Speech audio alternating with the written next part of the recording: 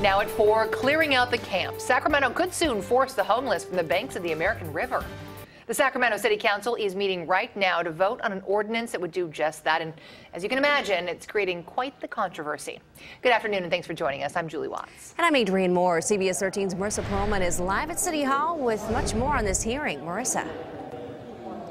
Yeah, Adrienne, it's a problem we first told you about last May. Homeless communities carving out into the levees, causing uh, multiple problems, putting the city at risk for fire and for flood. Well, all of this comes to a head tonight, right here, as the city council meeting goes on tonight. They're about to take on a big vote here any minute. Tonight, the city will consider an ordinance that would ban any camping within 25 feet of levees. Now, current law says governments cannot cite or tell people not to sleep in public public if they can't provide everyone beds unless their camping disrupts public health or safety. Well, after our story aired last May, state lawmakers did draft a bill which would have given flood control districts the authority to remove these encampments, but that never made it to the governor's desk.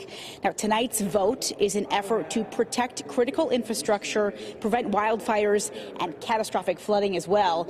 But some homeless advocates tonight are saying this ban, too, will be catastrophic.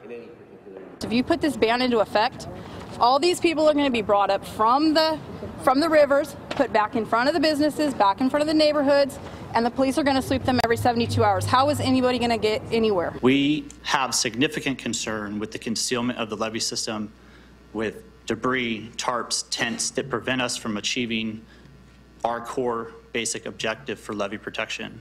I cannot understate how important it is for us to be able to monitor and inspect our levee system every day.